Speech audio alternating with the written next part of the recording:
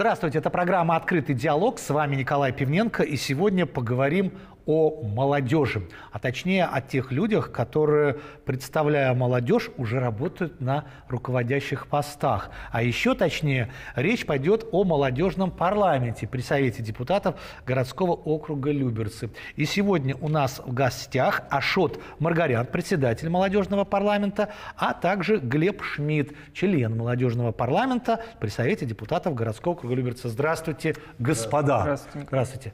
Ну вот молодежный парламент – это сразу вот такая, кажется, что такое чиновничья должность. Значит, придется футболки нельзя носить уже, значит, джинсы носить нельзя. Теперь нужно ходить все время в костюме. Это так или не так? Ну, смотрите, у нас работа молодежного парламента основная ведется, конечно, на заседаниях, Мгм. да, то есть где мы обсуждаем какие-то идеи, нормотворческие идеи, Мгм. то, что какие-то мероприятия, которые связаны с молодежной политикой. А, Но помимо заседаний, вот этой основной Есть работа. мы работаем, да, Да. вот на мероприятиях, на спортивных, на культурно-массовых, естественно, мы не в костюмах приходим, мы приходим в футболках, в Как толстовках, да, как положено молодежи. Понятно. Стиль casual. Хорошо. Вот, а на заседаниях, конечно, просим ребят, ну, коль это у нас официальное Вот мероприятие. почти как на заседании, Да, мы, си- пришли. мы пришли практически как на заседании, да. Хорошо. Но вообще у нас э, такое, да, есть. Ну, э, я так понимаю, что э, недавно вы стали э, работать, да, в молодежном, председателем молодежного парламента. Речь идет об Ашоте, а Глеб как... э, Сколько вообще сейчас в парламенте у вас молодежном людей? А, Смотрите, у нас э, вот недавно избрался новый созыв молодежного парламента. Э, Он э, каждый созыв на два года у нас. Мгм. В прошлом созыве у нас было 15 человек, а в этом созыве э, на решение, решение Совета депутатов в положении о молодежи в парламенте уже зафиксировано число 21, потому что у нас активной молодежи Мгм. очень много. Вот, поэтому на данный момент у нас 21 член молодежного парламента. Мы недавно проводили первое заседание, на нем как раз утверждали, План кто, да, работы. план работы, Кто кто, за что да, кто за что ответственный, к- какие у нас направления деятельности будут. Э, И уже активно работаем в этих А, а направлениях. стареньких кто был? Кто-то остался или А, Да, у нас осталось 7 человек из прошлого А, созыва. Я сам был, почти, да, да. Я сам был в прошлом созыве, и председателем прошлого созыва тоже был. Вот, и 7 человек э, подали заявки в конкурсную комиссию. У нас формирование в этом году новое было, по новому А. принципу формировали. Да, в прошлый раз мы через голосование, у нас формировался молодежь парламент, э, мажоритарной системы, первые 15 человек проходили. А в этом году э, мы решили провести все гораздо интереснее. У нас была сформирована конкурсная комиссия из представителей э, администрации городского округа Люберцы, депутатов Московской областной думы, депутатов Совета депутатов То есть, округа. чтобы так солидно было, да. Они рассматривали все- кандидатуры. У нас было целых 38 человек, которые хотели войти в молодежный парламент. А, 32 человека пришли на вот эту очную конкурсную комиссию. Ага. И мы из этих 32 избирали 20. 21 человека, 21. да, который вошел в новый состав. А Глеб новый или старенький? Э, Вы знаете, я избирался в прошлом созыве, Так. избрался, Так. э, проделал работу в парламенте буквально полгода, но в итоге захотел пойти в армию. Захотел. Да, Это ключевое слово. Так. Захотел. Э, Как бы отслужил год в армии, Мгм. вернулся, ну и подумал, а почему бы снова бы не вернуться? Ага. Вроде бы, ну, все выстроено у нас хорошо, прилично, ну, мне нравилось этим есть работа заниматься. знакомая? Да, работа знакомая, э, вот, и поэтому Тем более повзрослевший пришел Вот после армии, все взрослеют. Самодисциплина. Самодисциплина. Да. То есть это тот вариант, который я даже не ожидал. То есть был, потом ушел, потом вернулся. Есть и такая версия. Да. Ну хорошо. А, Ашот, скажите, пожалуйста, ну а, мы прекрасно понимаем, что есть взрослые, есть молодежь, ну, есть, э, как в советское время, пионеры, а, комсомольцы и коммунисты, да, так это было. Я ни в коем случае не сравниваю, но некоторые люди могут сказать, а зачем нужен молодежный парламент, когда есть вроде бы как а, обычный депутатский корпус, те же самые парламентарии. Будет молодежь к ним обращаться, зачем нужен? Ну, смотрите, здесь э, вопрос, да, такой, скажем, философский. Вот. Я вообще деятельность молодежного парламента вижу как, ну, у нас и в положении пропишет, что это совещательный орган Совет депутатов. То есть, То есть он э, серьезный, не просто так там пришли, Да, у нас есть, да, у нас, во-первых, да, у нас есть положение, по которому мы работаем, утвержденное решение Совета депутатов, и также могу сказать, что в Московской области есть молодежный парламент, Московский областной молодежный парламент, он э, утвержден вообще законом Московской области. Э, с какой целью вообще создаются молодежные Да. парламенты? Э, чтобы у представительной власти, в том числе субъекта, да, муниципалитета, в нашем случае Совет депутатов городского округа Люберца, был такой орган, который подсказывает, э, какие направления молодежи сейчас интересны, э, что хочет молодежь и какую, в какую сторону двигаться да, по работе с молодежью. Потому что молодежь это у нас неотъемлемая часть. У нас э, где-то одна треть от жителей составляют ну, и, молодые люди. Вообще вот, ставка да. туда надо делать, Конечно, да, да. на молодежь. И... Молодые семьи, э, рождение детей, Естественно, наша молодежь – это люди в возрасте от 14 до 35 лет. Да, напомню, что увеличился у нас теперь 35, 35 лет, лет, это да, еще теперь. молодой вот, человек. Поэтому у нас, да, одна треть жителей городского округа Люберцы – это молодежь, и, естественно, молодежь должен быть какой-то свой представительный орган, который идеи молодежи ну, передает, э, как вы сказали, коллегам постарше, да, да будем, так, и чтобы будем так называть, да, чтобы сейчас... они слышали, да, и э, чтобы это был формат не просто вот «здравствуйте, да, спасибо» и это. Можно вот это? Да, можно вот это, а чтобы это серьезный орган, ну, который приходит, да. Мы точно так же, как на заседании Совета депутатов, мы принимаем решения. Мы, у нас есть право вынести какое-то решение на заседании Совета депутатов, на профильные комитеты. Мы, э, ну, у нас как комиссия это называется, на профильной комиссии. Э, также в молодежном парламенте есть э, разбивка по направлениям, по комиссиям, и ребята в этих как раз направлениях, допустим, кто-то по спортивному направлению, кто-то по направлению культуры и а образования предлагает Давайте, идеи. Да, да. Спросим, спросим сейчас у Глеба, который ну, вынужден слушать начальника, конечно, вот, но мы должны тоже его подключить. А у вас какое направление, Глеб? А, в прошлом созыве угу. я занимался молодежной политикой и волонтерством. Угу. О, ну это как вам попало тогда, да? Да. Вот. Наверное, тогда все занимались этим. Это да, такое время там было. Да. А в этом? В этом году также молодежная политика и спорт. А, и спорт. Да. Вот. У меня просто есть среднее профессиональное образование, ага. спортивный менеджмент. Ага. То есть боксеров продавать. Но я больше футбол. А, ну тут уж хорошо, там денег-то побольше, да. Но если говорить серьезно, а вот э, там, где сейчас сидите вы, да, приходит к нам огромное, правда, вот уже огромное, небольшое даже, огромное количество, как правило, тренер э, со своими э, выпускниками, либо со своими ребятами, ну, питомцами, которые... Одних единоборств только у нас, сколько здесь было. Ветераны спорта приходят. Недавно был ваш коллега ну, из администрации э, господин Петров по поводу ГТО. Mm. Мы с ним общались, он нам рассказал, э, что нужно сделать, чтобы чувствовать себя молодым и не в 35 лет. Поэтому спорт, он такая важная история. Но вы же понимаете, Глеб, что сегодня четко есть две позиции. ЗОЖ и совсем не ЗОЖ. Вот это очень, наверное, сложно. А, и есть мода на ЗОЖ, когда вроде как ЗОЖ, но не ЗОЖ, так скажем. Вот э, в этом плане я на вашем примере просто угу. в каждой из этих комиссий или направлений вы составляете тоже какой-то план работы, согласовываете его, да, как это работает? Да, конечно. Как работает схема? Ну, мы собираемся, условно говоря, своей комиссией, так. решаем вопросы, угу и приходим к их выполнению. Понятно. А утверждаете вы все как ну, на как заседании, да, на заседании. Смотрите, у нас э, каждая комиссия готовит план своей деятельности. Э, сначала мы э, в начале года готовим план деятельности на год. Это такой большой план, то, что мы хотим в течение года получить. Mm-hmm. Вот, а потом его утверждаем, естественно, на заседании молодежного парламента. Это у нас официальный документ, и мы должны его придерживаться, потому что мы сами это решение приняли. Мы хотим ну, вот да. эти направления вести. Естественно, мы его можем как-то дополнять, корректировать. Это никто не запрещает запрещает, у нас есть на то, как говорится, полномочия. Да? Угу. Грубое слово, но здесь оно, Нет, я ну, думаю, что, неуместно. Да, но, по сути, есть да. Полномочия, да, у нас есть такие полномочия, да. да, можем его менять. Вот, но помимо этого, э, мы еще делаем ежемесячно планирование. Угу. И в течение месяца мы понимаем, что, допустим, вот, э, просто пример приведу, скоро у нас 10 э, декабря, угу. Всемирный день футбола. И мы сейчас понимаем, что мы хотим во Всемирный день футбола провести большой турнир по футболу, привлечь молодежь, чтобы ребята поиграли в футбол там на закрытой площадке. Вот, да. потому что не на Уже, улице. Ну, конечно, да, не на да. улице. Вот. Э, продумываем место, где это провести, собираем ребят. Это, ну, это то есть не, на, на год такое не надо планировать, да, там какое-то ну, точное понятно, мероприятие. Да, да. А на год мы планируем именно, скажем, условно, глобальные, глобальные какие-то направления. Да, да, да, именно так. Там День Победы, пер, там, Первомайский, ну, да. майские, 8 Майский, марта, да, Новый да, год, да, какие-то угу. такие вещи. Хорошо. А, Глеб, скажите, вот вы, опять же, как частично из того состава и сейчас уже в новом составе, меняется как-то э, работа? Какие вообще ребята приходят? Вы же уже оба как ветераны, можно сказать, молодежного парламентского движения. А, ребята сейчас приходят, которые вот впервые пришли, активность их в чем заключается? Зачем им это нужно? Вот такая. Ну, как мы знаем, у всей молодежи у них есть инициатива, Да.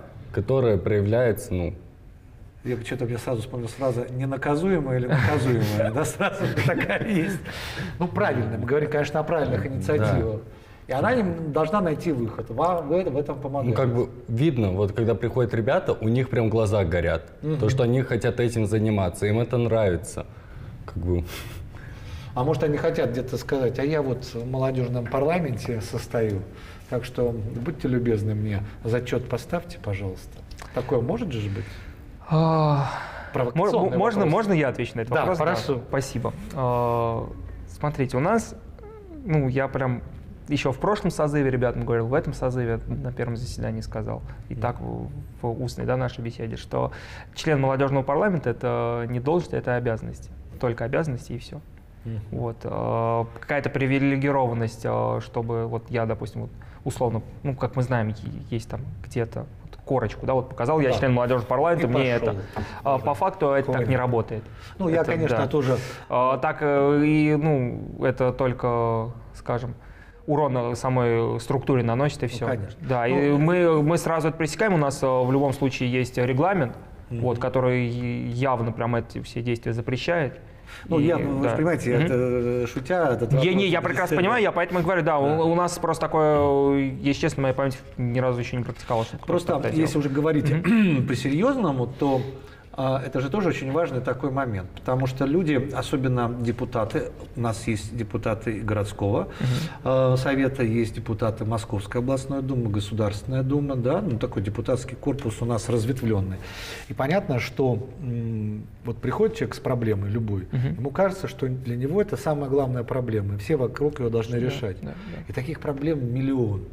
А молодые люди, тем более действительно до 35 лет, это уже и даже может быть человек, у которого трое и четверо детей может быть, Мгм. потому что уже к этому возрасту, да, если раньше это особо не попадал. То есть это и проблема, а, и, опять же, детских садов, школьного образования, дополнительного образования, спортивных секций. То есть иногда, конечно же, любой взрослый человек, особенно такой депутат с опытом, он, естественно, это вкладывает в себе, потому что он же встречается с избирателями, и говорит, мы хотим спортивную площадку, да, потому что у нас там дети. Но все равно они э, иногда э, вынуждены реагировать на ЖКХ, на какие-то такие серьезные проблемы, ну, такого взрослого, что ли, звучания. А правильно я понимаю, что вы и занимаетесь вычленением тех важных моментов, которые, может быть, не успевают они заметить, и пытаетесь им маякнуть об этом? Я бы с вами отчасти согласился, Так. отчасти чуть э, не то, что возразил, да, я просто Легко. дополнил бы. А, Смотрите, у нас точно так же, как и у депутатов, э, есть э, приемы молодежи. Мы, то есть, с молодежью встречаемся, э, там, то ли, ну, форматы могут быть разные, форумы, круглые столы, лекции. И вы как раз тоже пытаемся выявить ту проблематику, которая больше именно по молодежной части. Но и когда к нам, вот э, хороший пример из прошлого созыва, к нам обратились ребята по вопросу благоустройства на птицефабрике в Томилино. А, У них э, там какая-то проблема с лампочками была, освещение не работало. Ну, мы понимаем, что такие вещи, они, с одной стороны, кажутся, ну, для жителей, естественно, это очень серьезные Ну вещи, да, да, что да. вечером э, идешь домой, а там темно, но где-то кто-то это не видит. И когда ребят приходят, есть такая структура, куда они могут прийти и сказать, что вот это, есть такая проблема, а мы э, с коллегами из Совета депутатов, да, там из э, администрации можем подсказать, что вот здесь вот э, свет не горит, пожалуйста, Решите вы эту решите эту проблему, проблему, да. да, вот ребята, молодежь обращается, они вечером домой идут, там э, девушки домой, им страшно просто идти. Вот здесь, поэтому я думаю, это, конечно, хорошо, что есть такие площадки, э, куда люди могут обратиться с проблемами. А, Но мы в основном, да, занимаемся вопросами, которые касаются именно молодежи в, скажем, глобальном плане, то есть, э, как вы сказали, допустим, Ну, давайте сейчас сделаем перерыв. Да. И как раз вот во второй части мы по этим глобальным вопросам и пройдем. Почему? Потому что нас не только молодежь, но и родители. Как я говорю, когда был ковид, многие семьи, во-первых, узнали, что у них есть жена, а во-вторых, узнали, что у них есть дети, и что у детей есть какие-то свои мысли. И вот тогда многие столкнулись с этим, некое непонимание. Поэтому вот это сочетание отцов и детей в правильном направлении, оно, конечно же, нам нужно. Через некоторое время продолжим программу «Открытый диалог». Напомню, что это программа «Открытый диалог». У нас в гостях сегодня Ашот Маргарян, председатель молодежного парламента при Совете депутатов городского округа Люберцы, а также член этого парламента Глеб Шмидт. Мы продолжаем разговор. Выяснили, а, что это никакая не такая простая организация, это серьезный э, инструмент, который помогает довольно большому количеству молодых людей а, решать те вопросы, которые иногда действительно, может быть, либо взрослые не замечают, ну вот либо замечают, но им некогда, и вообще вы же в помощь, вы же при Совете Да, при депутатов. Совете. То есть я так понимаю, что вы еще имеете какие-то контакты с депутатами, можете, ну что называется, напрямую и с председателем связаться, и, наверное, встречи, вот вы говорите, встречи проводятся как, э, можете на депутатскую какую-то встречу прийти, если там молодежная какая-то проблематика есть, да? Да, у нас, смотрите, у нас э, формат, э, естественно, мы, являя как совещательный орган Совета депутатов, мы э, взаимодействуем по нашим основным вопросам со Советом депутатов. На все заседания Совета депутатов членов молодежного парламента автоматически приглашают, потому что это как раз там в основном ну, на любом заседании я не могу не при- припомнить э, ни одно заседание, где вопрос, как-то вопрос молодежи не освещался, Мгм, да, и мгм. не от- обрабатывался э, депутатами. Вот, поэтому мы участвуем в комиссиях Совета депутатов. Э, У нас члены молодежного парламента закреплены за депутатами Совет депутатов. Э, Можно сказать, являются их помощниками Мгм. в общественной деятельности, да, то есть э, там где-то помочь встречу организовать, э, мероприятие, да, где-то в приеме совместном с депутатом принять участие. Вот, поэтому мы плодотворно работаем с Советом депутатов, с председателем Совета депутатов. Вот, Ну, раз. контакт понятно. Да. Глеб, скажите, вот вы по спорту, а какие еще у вас есть направления э, деятельности? Раз вас два, и как там, вот если 21 человек, это по нескольку на а, одном направлении или каждый отдельно возглавляет направление? Ну вот смотрите, у нас э, каждый член молодежного парламента, сос- ну, куда он хочет э, именно в какую комиссию пойти. Мгм. Ну вот, э, то есть комиссии неск- в комиссии несколько Да, человек, да, да. состоит? Понятно. Сколько всего у вас сейчас комиссия работает? Так, по-моему, четыре комиссии. Четыре. Четыре комиссии. Четыре. Ну, дело в том, что парламент только недавно начал работать, поэтому, может быть, еще появится и так далее. Да. То есть четыре У нас, основных у направления. нас есть, да, четыре постоянные комиссии. В, ка- ну, каждая комиссия включает в себя несколько направлений. Допустим, вот сейчас м, одну из комиссий назову. Это у нас комиссия по вопросам культуры, образования, экологии и, Ого, а, и образования. Культура, Ко- комиссия, эколог- э, комиссия образования, экология и Ну, опять же, вы... здравоохранения. Да, вы отталкиваетесь Да. от молодежных вопросов. Почему? Потому что вот у нас и врачи сюда тоже приходят. Мы же обсуждаем вопросы э, здоровья. Вот как раз, да, у нас здравоохранение Да. в этой комиссии входит. У нас э, есть э, прекрасный член молодежного парламента, который как раз взял на себя именно направление здравоохранения. Он внутри этой комиссии. То есть мы как решили сделать? У нас есть четыре комиссии по, ну, вот, по большим таким направлениям, блокам. И внутри каждой комиссии ребята уже выбирают для себя одно конкретное направление и в рамках этого направления работают. А на заседаниях комиссии, когда уже идет обсуждение, да, вот, допустим, комиссия по культуре предлагает такие-то такие-то массовые мероприятия провести, а комиссия по образованию предлагает такую-то образовательную лекцию провести для молодежи. Они вот это все собирают, у них получается план работы комиссии на месяц, и они в рамках э, этого плана работают в течение месяца, там, ответственный, допустим, условно, член молодежного парламента Титова за образование, и она проводит вот эту лекцию. Ответственная от, молодеж... ответственная от молодежного парламента по направлению культура предложил такое-то мероприятие, допустим, Овчинников Игорь, и он проводит вот это мероприятие по своим А Глеб направлениям. Шмидт что а Глеб у нас э, спорт, спортивные мероприятия. Терапия. То есть вы должны, э, условно, ну не то, что, ну, раз вы сказали сами обязаны, значит должны. Обязаны, да, да. не просто вот мне вдруг захотелось провести какое-то мероприятие. То есть, э, если идет какое-то мероприятие, то вы его как бы курируете, да, если э, ре- речь о спорте идет? Ну, бывает такое, то, что я могу и курировать, и как бы и принять участие. Даже так. Играющий тренер. Да? Да. Условно говоря, так. А каким видом спорта вы занимаетесь вообще? Ну, раньше занимался футболом. так. Вот. А сейчас?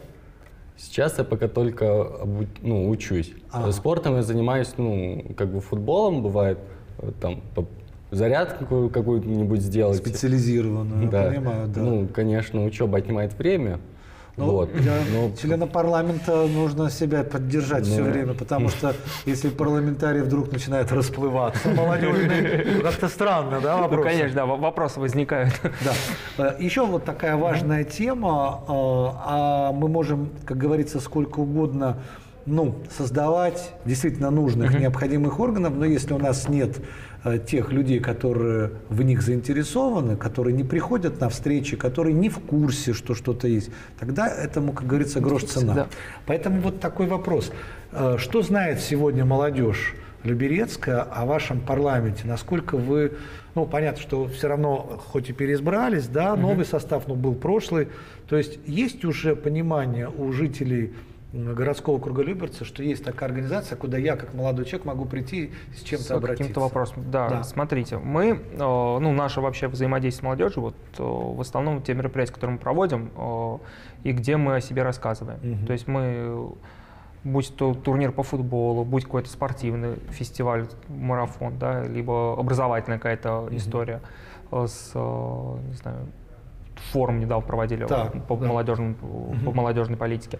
Вот мы там везде рассказываем о молодежном парламенте, о том, что это вообще за организация, э, какие формы взаимодействия есть. Как они да, могут и как получить могут они, от да. вас что хорошего? Вот, также у нас работает э, общественная приемная молодежного парламента прошлого созыва в электронном виде. То есть э, ребята, если у них есть какое-то обращение, да, какой-то вопрос, они могут э, по форме, которая в социальных сетях есть, э, заполнить обращение, и мы всегда ответим на ту или иную просьбу, либо поможем решить тот или иной вопрос. Правильно я так понимаю, Глеб, что если, например, какая-то ка- ну, команда образовалась, да, футбольная, которая пока ничья, ну вот как-то, я не знаю, там слились воедино и говорят, что вот мы хотим, они могут к вам прийти и сказать, а вот мы команда, но мы не знаем, где нам найти площадку, а, как нам ну, легализоваться, где мы можем тренироваться, потому что холодно будет. И вы можете, в принципе, услышать их и помочь им решить этот да, вопрос. конечно. То есть это так и работает, да? Да. Ну, бывает, приходят э, ребята со своей инициативой, Идеей, вот да. да, спортивной. А. А, Например, когда у нас турнир проходил по футболу, было такое то, что, ну, ребята играли в разных, условно говоря, клубах, кто-то на, на дворовом уровне играл. Они Кто-то на взяли, профессиональном. да, Да. они объединились в одну единую команду и сыграли.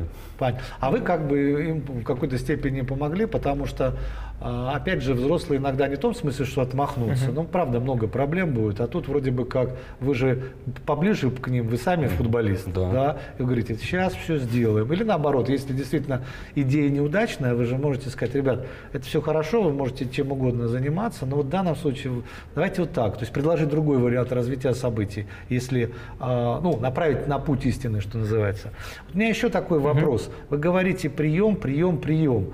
А, Как кто-то вот сейчас услышит, захочет, о, есть у нас парламент, куда идти, где вас можно найти, как вы проводите свои встречи, помимо, я так понимаю, онлайнового или, как говорят, дистанционного режима? Мы э, каждую нашу встречу, вот э, сейчас как раз в новом созыве эту историю будем э, начинать запускать, э, мы каждый месяц встречаемся с молодежью и анонсируем на, в социальных сетях молодежного парламента информацию о этих встречах. Кто про- проводит прием, кто... А, и с э, какими вопросами И с вопросами, прийти? да, можно обращаться. И это прописано созыве- у вас в документах, я так понимаю, Да, да, да, обязательно конечно, вот это конечно, да. Да, ага. Вот, также мы, ну, в прошлом э, созыве мы старались проводить такие встречи вообще раз в неделю, но вообще э, мы, ну, то есть по документам, да, вот если в кавычках это взять, раз в месяц э, достаточно проводить, но мы делали раз в неделю, потому что вопрос, да, вопросов было много, ребята с разными предложениями приходили. Вот, также мы, мы же Понимаете, не, не то чтобы сидим, да, вот на заседаниях и все. Да-да-да-да. мы больше Это уже да, выяснили, да. да, мы больше стараемся Переодеваемся всё-таки, в футболку, да, и футболки, да, и к да. ребятам в школы приходим, Ага. в учебные, вы- высшие учебные заведения на территории округа, в техникуме приходим к ребятам. И там уже с ними общаемся, э, вот, что называется, просто вот face-to-face. Понятно. А, Глеб, а вот э, опять же, так как вы нас спорт сегодня представляете, а, мы же прекрасно понимаем, что молодежь это всегда, ну, есть одна проблема, когда многое хочется попробовать. Да? Есть такая не очень приятная фраза, которую мы можем часто услышать. Надо в жизни попробовать все.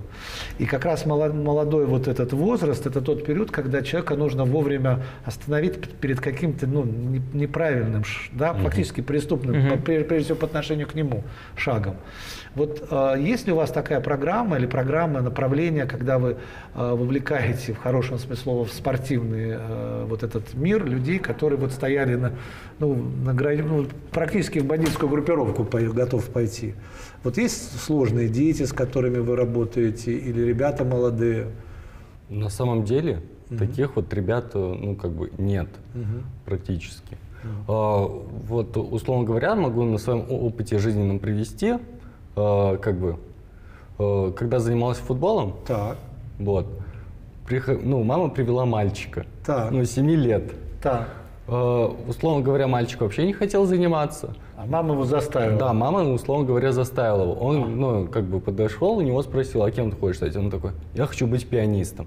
Ну, как бы, не надо ребенка ограничить, потому что, ну, как бы, большинство родителей говорят, ты будешь заниматься этим, этим, этим, этим. Обычно наоборот. Приводят на пианино, говорят, я хочу, быть футболистом. Да, ну, видите, там такой культурный человек. Диаметрально. Да, да, да. Да. То есть правильно нужно выбрать. Да, надо правильно выбрать для ребенка, что именно он хочет. Какая система отчетности у вас как Смотрите, у нас э, есть рейтингование членов молодежного парламента. А. Мы ежемесячно, э, у нас есть определенные критерии, по которым мы работаем. Да? Mm-hmm. Ну, скажем так, они э, не только мы по ним работаем, они просто обязательные. То есть mm-hmm. вот это обязательно, а все остальное это уже как бы, инициатива, ну не, не по желанию, а просто уже дополнительно к обязательным а. критериям, которые у нас в регламенте прописаны. И мы по итогам каждого месяца выставляем как бы, ну, сводим, смотрим, кто как занимается, и сводим информацию, и на каждом заседании э, мы уже рассказываем, кто как э, справился, кто не справился, кому где надо э, подтянуть да, чуть свою активность в работе в молодежном парламенте. Нам остается пожелать вам удачи. Понятно, что пока трудновато еще, когда вот, э, несмотря на то, что переизбрались, но все равно новый отчет идет. А, поработайте, значит, покажите себя, проявите, особенно тех, кто ни разу еще в этом не работал. И ждем вас вновь с, уже с отчетом о проделе. Мы там были, там были, там были. Мы всегда вам рады. Спасибо. Напомню, Спасибо. что в гостях у нас сегодня были Ашот Маргарян, председатель молодежного парламента при Совете депутатов городского округа Люберцы, и Глеб Шмидт, член молодежного парламента при Совете депутатов городского округа Люберцы. С вами был Николай Пивненко в программе «Открытый диалог». Всего доброго.